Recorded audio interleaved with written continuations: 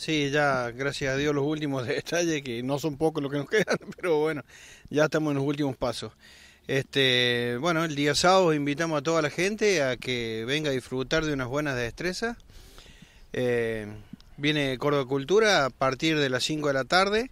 Eh, se va a terminar tipo 2 o 3 de la mañana, eh, inaugurando luces nuevas, asadores nuevos. Así que bueno, los esperamos a toda la gente que venga a disfrutar de unas buenas destrezas y el día domingo los invitamos a que vengan a la jineteada. Bueno, hablamos puntualmente de lo que va a ser la actividad del día sábado, decías a partir de las 5 de la tarde, costo de entrada, cómo se va a desarrollar la actividad. Y a partir del sábado hay un costo de entrada de 50 pesos.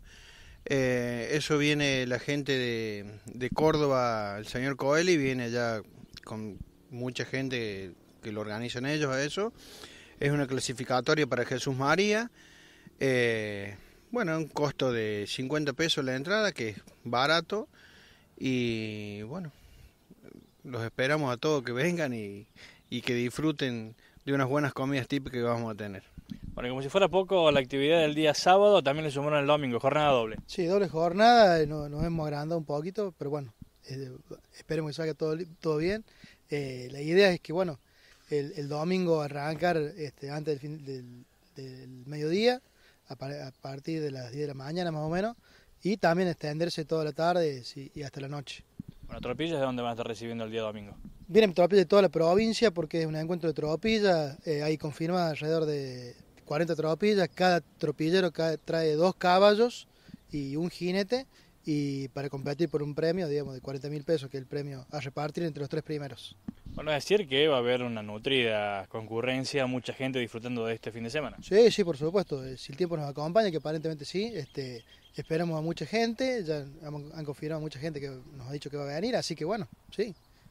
El domingo, ¿a partir de qué hora decías antes del mediodía? ¿Qué costo de entrada? El costo de la entrada es 150 pesos, eh, y sí, al tipo 10 de la mañana, eh, la idea es arrancar temprano porque eh, se, se ve así en un día de bastante calor, entonces este, por ahí hacer un receso en, en plena tarde, ya un, un, rato, y después, bueno, seguir, como ahora tenemos luz, este, podemos, nos podemos extender un poquito más. Bueno, que es una justamente de las cosas que la gente que se llegue al predio va a notar los cambios, ¿no? En la infraestructura, bueno, también tiene que ver con la iluminación. Sí, sí, sí, bueno, este, otra cosa también, aprovechar, ya que están, este, también este, agradecerle a la, a la cooperativa que nos da una mano muy grande con, con el tema de la iluminación. Eh, así que bueno, estamos muy agradecidos por eso también. Bueno, asadores también van a estar estrenándose. Asadores también, sí, porque este, para darle más seguridad al predio, sobre todo, y, y también bueno, y comodidad a los, a los, que están en la parrilla, por supuesto, no estar en el suelo. Se va a hacer un estreno previo, tenemos que venir a ver el acontecimiento del estreno del asador. Y sí, sí, esta noche te vamos a tener prender fuego para que se seque, porque está todo húmedo. así que sí. Bueno, ¿cómo, ¿cómo se van solventando los gastos? ¿Por qué? Hay una inversión fuerte. Sí, bueno, este, nos vamos solventando gracias este, a fiestas anteriores que hemos hecho. Y después, bueno, durante todo el año hemos molestado a mucha gente con este, venta de empanadas, este, pollo en, en, algún momento, entonces, bueno, se va juntando plata para justamente solventar todos estos costos. Y bueno, también agradecerle también, por supuesto, a la municipalidad que siempre nos da una mano, eh, si bien este es un predio municipal, pero bueno, este, ellos nos, nos dan una mano siempre en lo que necesitemos, por ahí cosas, eh, sobre todo trabajo de la gente o alguna este, una bolsa de porla, algo para hacer las cosas, ellos están, están siempre, digamos, dispuestos. Bueno, Cristian, son muchas las personas y muchas las instituciones que hacen que este parque criollo siga creciendo aquí en la ciudad. Sí, gracias a Dios. Hay mucha gente que nos ha dado una mano muy grande. Eh, Aladio nos ha dado una mano muy grande también, que siempre lo que hemos pedido ha estado ayudando o no.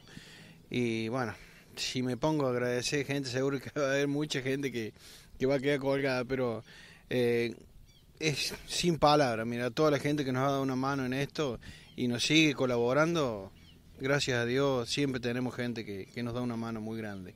Bueno, un lugar para disfrutar en familia. Sí, sin ninguna duda, sin ninguna duda. No solo destrezas y tropillas vamos a tener este, jineteadas, sino que también la música va a estar presente.